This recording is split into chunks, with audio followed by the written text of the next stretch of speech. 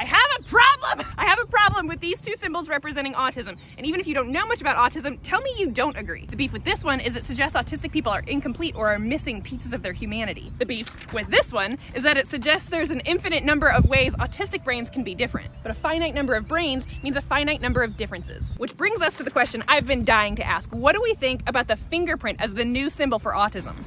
Here's your autism.